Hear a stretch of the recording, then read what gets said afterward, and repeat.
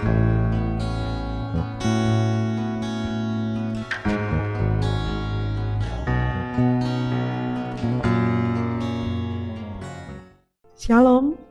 Bapak Ibu yang diberkati Tuhan.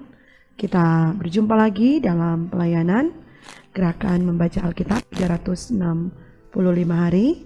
Kita ada di hari yang ke-193 dalam bagian bacaan Alkitab, Kitab Amsal pasal 7 sampai pasalnya yang ke-9. Sebelum kita baca firman Tuhan, mari berdoa. Kami naikkan pujian dan syukur kepadamu ya Tuhan, atas perkenananmu yang menyertai kami sehingga kami boleh ada di hari yang baru ini. Kami menggunakan waktu dan kesempatan yang Tuhan karuniakan bagi kami untuk belajar firman-Mu. Kami memohon urapan kuasa Tuhan menyertai kami sehingga perkataan firman-Mu boleh kami mengerti dan kami pahami bersama. Maka ini doa kami ya Tuhan, dalam nama Tuhan Yesus kami berdoa. Amin. Saudaraku yang diberkati Tuhan, mari kita mulai membaca bagian bacaan Alkitab kita di hari ini. Hai anakku, berpeganglah pada perkataanku dan simpanlah perintahku dalam hatimu. Berpeganglah pada perintahku dan engkau akan hidup. Simpanlah ajaranku seperti biji matamu. Tambatkanlah semuanya itu pada jarimu dan tulislah itu pada loh hatimu. Katakanlah kepada hikmat, engkaulah saudaraku, dan sebutkanlah pengertian itu sanakmu. Supaya engkau dilindunginya terhadap perempuan jalang, terhadap perempuan asing yang licin perkataannya. Karena ketika suatu waktu aku melihat-lihat dari kisi-kisiku, dari jendela rumahku, kulihat di antara yang tak berpengalaman, kudapati di antara anak-anak muda, seorang teruna yang tidak berakal budi yang menyeberang dekat sudut jalan lalu melangkah menuju rumah perempuan semacam itu pada waktu senja pada petang hari di malam yang gelap. Maka datanglah menyongsong dia seorang perempuan berpakaian sundal dengan hati licik. Cerewet dan lihat perempuan ini, kakinya tak dapat tenang di rumah. Sebentar ia di jalan, dan sebentar di lapangan, dekat setiap tikungan ia menghadang. Lalu dipegangnyalah orang teruna itu dan diciumnya. Dengan muka tanpa malu berkatalah ia kepadanya, Aku harus mempersembahkan korban keselamatan dan pada hari ini telah kubayar nasarku itu. Itulah sebabnya aku keluar menyongsong engkau untuk mencari engkau dan sekarang kudapatkan engkau.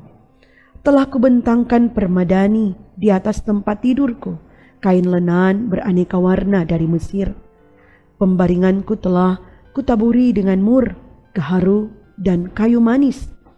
Marilah kita memuaskan berahi hingga pagi hari dan bersama-sama menikmati asmara.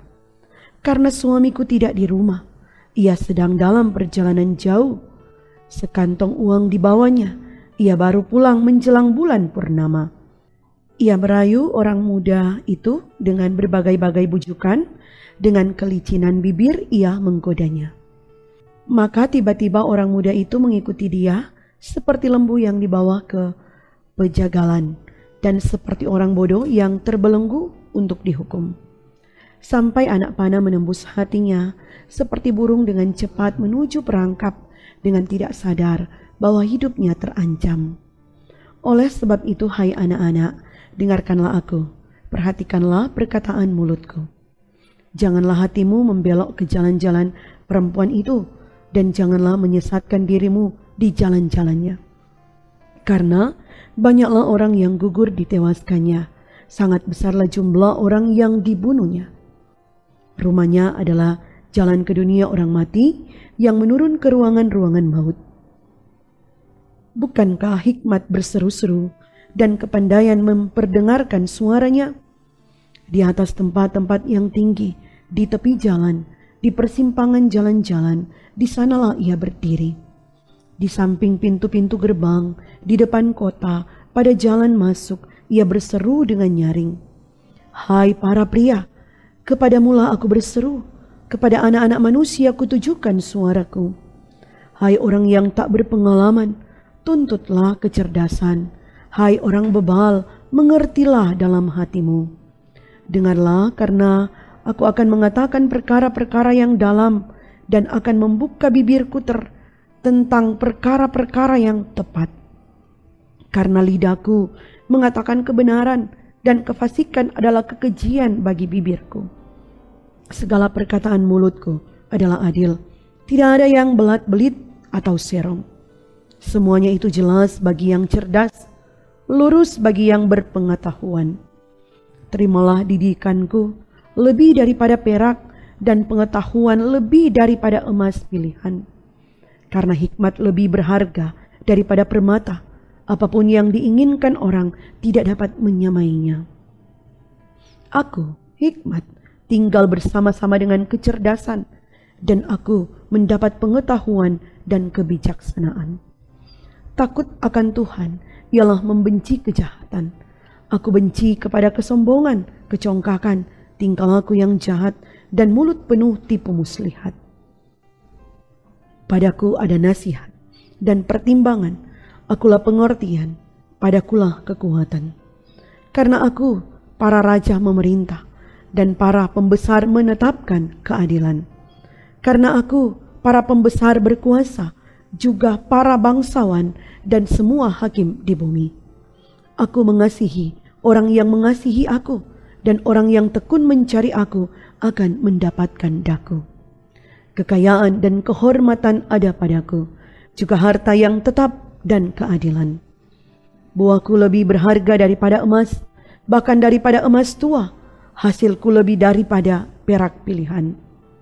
Aku berjalan pada jalan kebenaran, di tengah-tengah jalan keadilan, supaya ku wariskan harta kepada yang mengasihi aku, dan kuisi penuh perbendaharaan mereka. Tuhan telah menciptakan aku sebagai permulaan pekerjaannya, sebagai perbuatannya yang pertama-tama dahulu kala.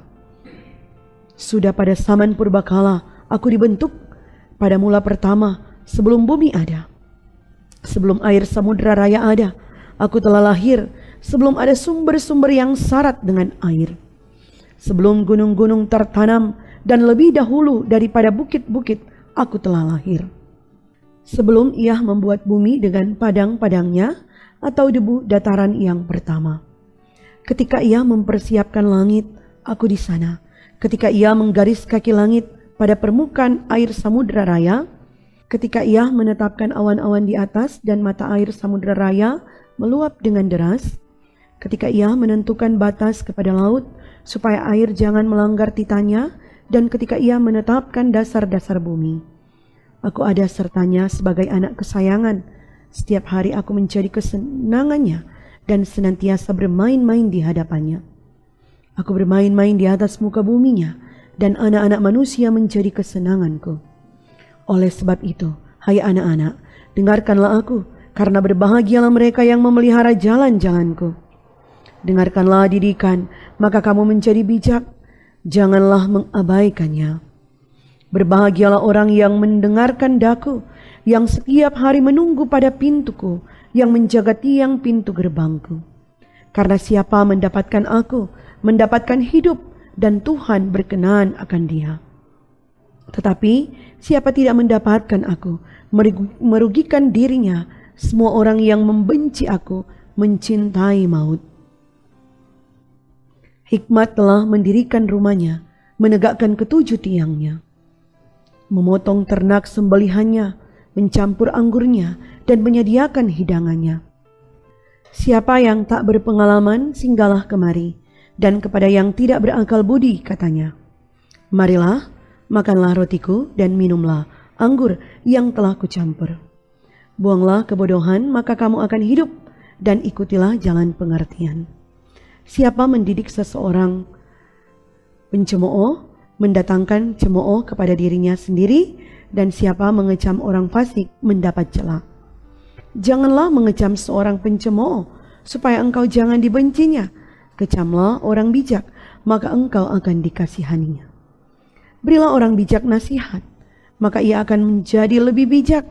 Ajarilah orang benar, maka pengetahuannya akan bertambah. Permulaan hikmat adalah takut akan Tuhan dan mengenal yang maha kudus adalah pengertian. Karena oleh aku umurmu diperpanjang dan tahun-tahun hidupmu ditambah. Jikalau engkau bijak, kebijakanmu itu bagimu sendiri. Jikalau engkau mencemooh, engkau sendirilah orang yang akan menanggungnya. Perempuan bebal, cerewet, sangat tidak berpengalaman ia dan tidak tahu malu. Ia duduk di depan pintu rumahnya, di atas kursi di tempat-tempat yang tinggi di kota. Dan orang-orang yang berlalu di jalan, yang lurus jalannya diundangnya dengan kata-kata. Siapa yang tak berpengalaman, singgahlah kemari, dan kepada orang yang tidak berakal budi, katanya.